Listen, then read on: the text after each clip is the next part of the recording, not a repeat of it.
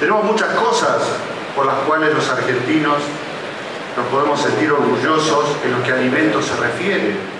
Bueno, va, al progreso, ¿no? Al, y al progreso de la mejor manera, invirtiendo, desarrollando tecnología, innovando y sobre todo cuidando el medio ambiente. Es un gran orgullo lo que significa para la Argentina APRESID a nivel mundial de cómo somos admirados. Argentina marca tendencia a nivel mundial de lo que es producir mucho y bien de una manera amigable con el medio ambiente, eh, conservando, preservando el, recurso suelo, el recurso agua, eh, produciendo alimentos inocuos en cantidad y calidad. O sea que Argentina tiene un gran capital y después de 30 años es un modelo a seguir para muchos países del mundo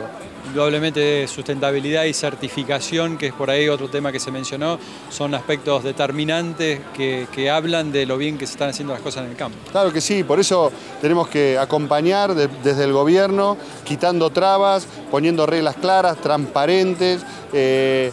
trabajando con humildad en lo que necesita cada una de las cadenas eh, productivas que tiene la Argentina. Y en eso estamos. Hoy estamos trabajando con 30 mesas de competitividad, muchas de ellas encabezadas por el propio presidente de la Nación, donde reunión a reunión vamos mejorando condiciones de competitividad estructural que independientemente del tipo de cambio, independientemente de los precios internacionales o del clima, hagan que el productor en las buenas épocas se pueda capitalizar y si viene una mala época que no se funda en el camino, o sea que pueda seguir trabajando. Ese es nuestro norte y lo hacemos escuchando, lo hacemos este, con, con la confianza de lo que mejor saben hacer las cosas son los propios protagonistas. Acompañamos en ese aspecto y de esa manera vemos cómo ya podemos ver progreso en lo que es la exportación de carne, la exportación de lácteos, de mandarinas, de miel, de maní, de vinos, de olivo, de aceites, o sea, todas cuestiones que son altas dadoras de mano de obra en muchas regiones de la Argentina y sobre todo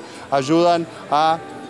fomentar el arraigo y más que nada, como nos pide el presidente Macri, que ayuden a reducir la pobreza en todos los lugares donde producimos.